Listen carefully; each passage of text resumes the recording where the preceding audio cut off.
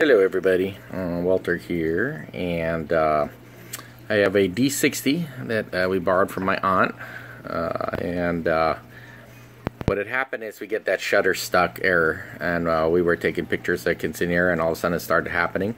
So of course I went online and tried to find out what I could do to clean it, and um, found out that you could take off the back and roll this red gear.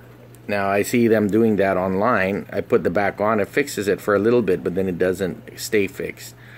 So I started doing research on it, and then I found out that um, some people were saying put lubricant. I wouldn't do that because that actually would cause it to uh, gather dust and, and uh, particles in there. So uh, what I'm using now that seemed to have done a good fix, uh, permanent fix, is the Deox D5 from Radio Shack and of course, I don't know if Radio Shack's still up, but you can get it there or online. Something similar. It's a it's a basically a uh, cleaner that doesn't leave any residue.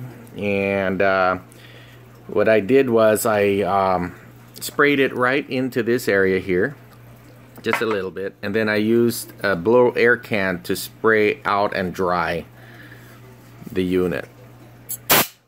And what I found out uh, looking at the gear is that the gear actually, when you when you hit it, you'll notice the gear comes off of the back of the plastic part and then actually rotates.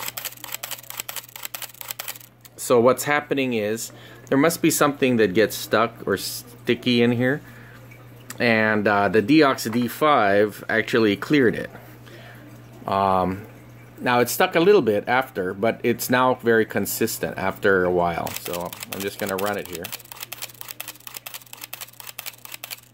And you can see it's taken a lot of the a lot of the pictures and it's solid, no errors. And uh, it stuck about two more times and then I ran it again and then it stuck another time. Uh, it, it started sticking less. So I'm thinking the Deox Deoxit D5 was actually working in the gear and clearing it out. Um, if it does, does get stuck, you have to remove the, the back again. And it's like there's a lot of screws. So what I did was I'd only screw in this screw right here by the battery and this screw uh, across. But you could leave all these other screws out so that if you need a quick fix, you do have to kind of rotate the gear. But that back has to come out. And this is on a D60.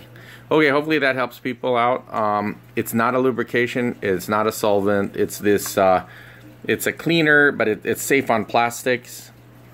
And Deoxit D5. Uh, that seems to work a lot better. I'm going to try again one more time.